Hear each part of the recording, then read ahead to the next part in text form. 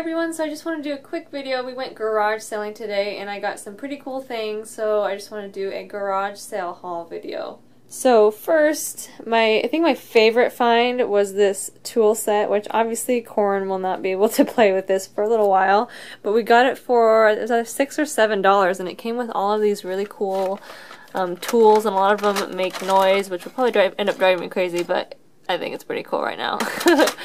but so it came with a bunch of tools and it's in really good condition. Um, I'll probably just wipe it off, but it's really clean and um, so yeah.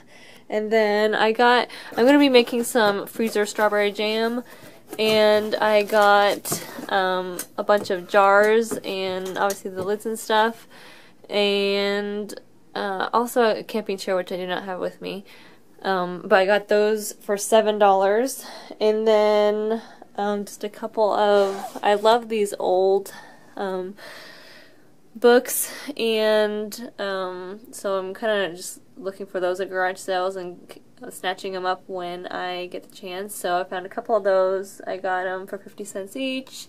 And then I got just some of the bigger Legos for um, 50 cents.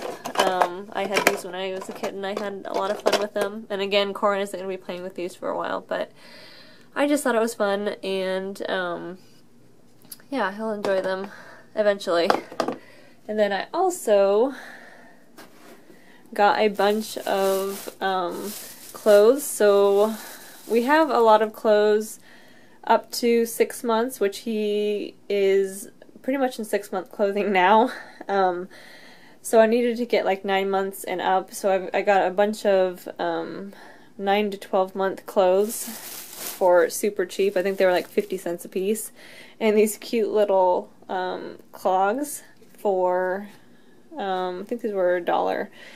And it, it look, they look brand new. So, um, yeah, that is my garage sale haul. And like I said, I didn't, I don't have the camping chair. Oh, here with me. Also, almost forgot, I got this mesh crib liner and I was hoping to find one of these at garage sale because I think they're about like 25 or 30 dollars brand new and this is actually brand new and I got it like for three dollars so I'm pretty excited about that and the baby blue goes with his crib set so um, he isn't in his crib right now but I will definitely be putting this bumper up um, when we get him in there and whatnot so so yeah, I got all of that stuff for about $25 I think, give or take a dollar.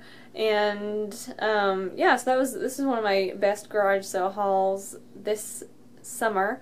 Um, so I hope you enjoyed this video. Give me a thumbs up if you did. Subscribe to my channel and I will see you in my next video. Bye!